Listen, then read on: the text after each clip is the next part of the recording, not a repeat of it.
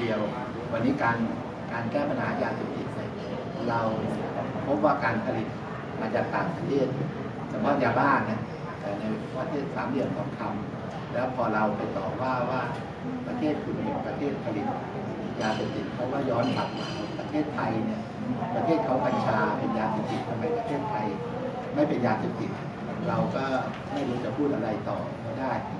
ไปทุกประเทศที่ที่ผมเองไปเจอนะค่ะก็ก็อันนี้ก็เป็นแล้วไอ้อันนั้นไม่เป็นไรหรือว่าเราซ้ำไม่ซ้ำแต่ว่า ปริมาณเด็กและเยาวชนไปใช้กัญชา แล้วก็กลุ่มนักกระท่อมเยอะขึ้นเยอะขึ้นเป็นสิบเท่าจากจากงานวิจัยจากไม่ใช่งานวิจัยจากข้อมูลที่แพทย์รักษา ทีนี้ทีนี้ไทม์ไลน์มันจะเป็นยังไงคะคือกระทรวงสาธารณสุขจะเอาตัวนี้